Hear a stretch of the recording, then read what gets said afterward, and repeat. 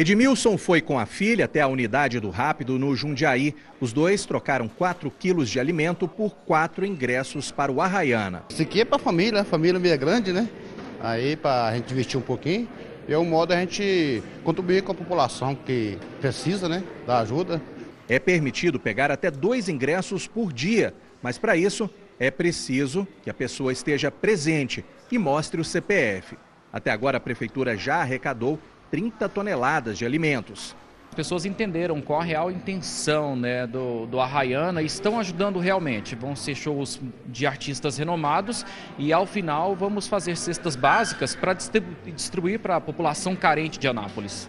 Além dos rápidos, é possível trocar alimentos por ingressos no CMTT, na própria prefeitura e também na bilheteria do estádio Jonas Duarte. Lá dentro, uma enorme estrutura foi montada para receber 20 mil visitantes por noite.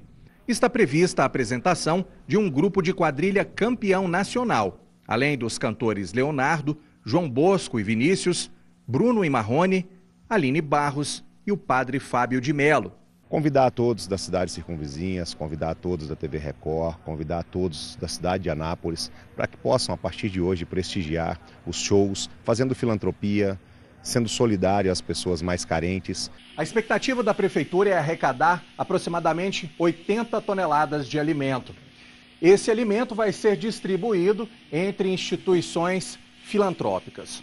Mas não é só isso. As barraquinhas que estão lá dentro também vão reverter o dinheiro arrecadado em outros tipos de ações. Estou aqui com a secretária de Desenvolvimento Social que vai explicar para a gente, Tânia, como é que é? Essas empresas, elas colocaram ali aqueles serviços, né, disponíveis lá dentro.